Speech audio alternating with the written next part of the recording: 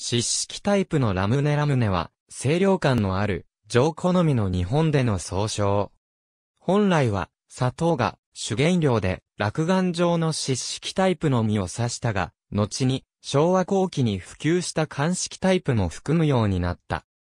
材料として、砂糖あるいは、ブドウ糖、でんぷん、酸味料が一般的。以前は強い発泡感を出すため重曹を加えた製品も存在した。1969年に禁止されるまでは人工甘味料ズルチンを使用したものもあった。森永ラムネは2010年頃からタピオカでんぷんを使用している。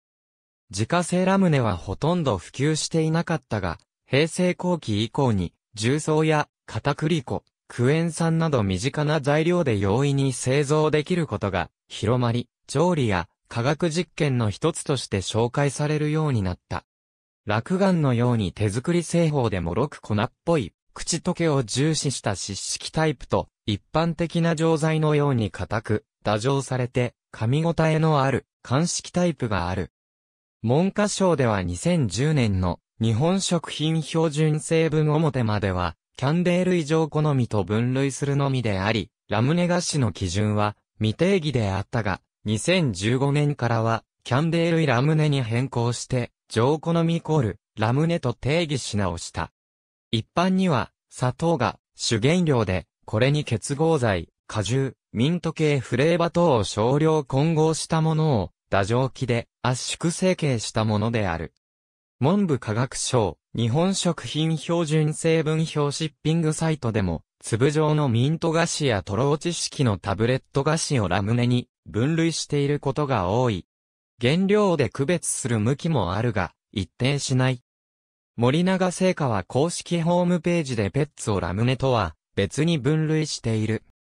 菓子業界向けの e コマースサービス、e お菓子ネットでは、キャンディやソフトキャンディに分類されるのみで定義づけはされていない。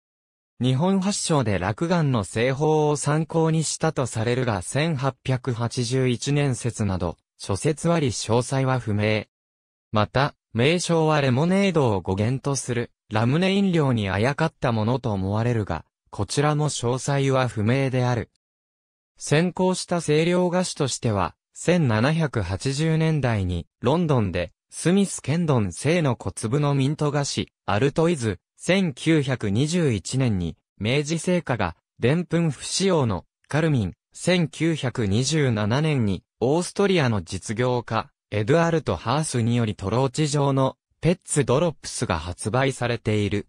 ジューシーミニコーラヨーグレットレインボーラムネ1948年、東京の土棚製菓が製造販売を開始。主力製品はセロファンで個別包装されたピースラムネ。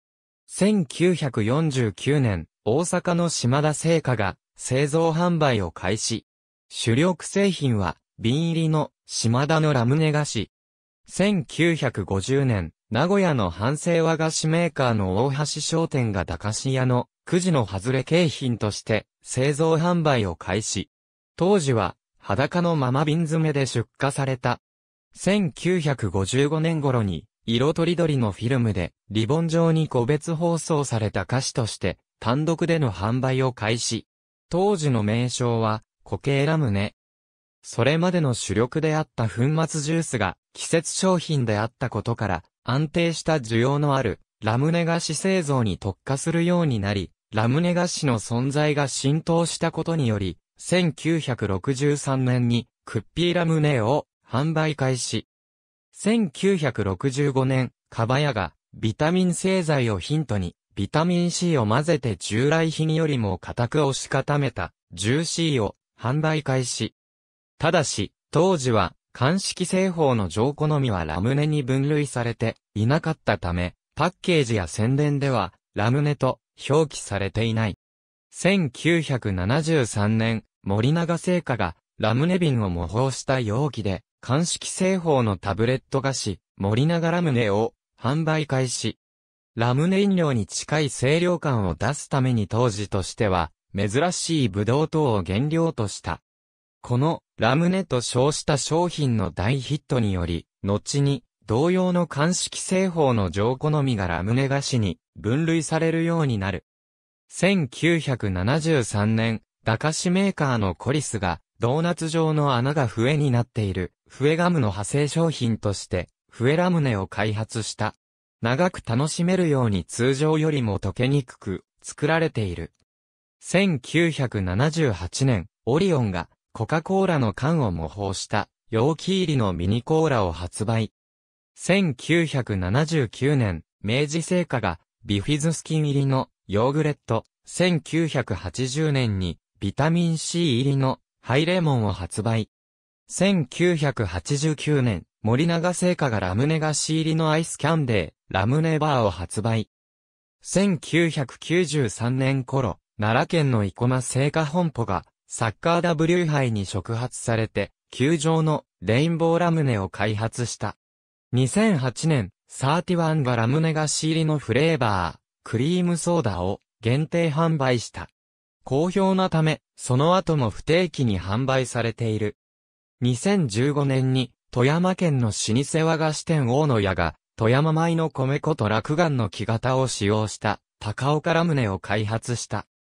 長らく、子供向け菓子として、流通、宣伝されてきたが、2010年頃からインターネットで2日、良い対策や、脳の活性化など、森永ラムネの効果が注目されるようになり、2015年にテレビでも紹介されたことで、ブドウ糖入り製品の需要が高まった。これを受けて、社会人や受験生向け製品の開発がされるようになり、チュアブルサプリのように栄養成分をアピールした製品も登場した。このブドウ糖入りラムネ菓子ブームの余波で、ブドウ糖不使用の拡大成果までもが、大人向け商品を展開した。ただし、ここでの大人とは、大人買いを意味する。コーラなどの炭酸飲料の中にラムネ菓子を入れると、激しく発泡し、炭酸飲料が噴水のように溢れる。これは、ラムネの成分によるものではなく、表面に細かな穴が開いていることによる。ありがとうございます。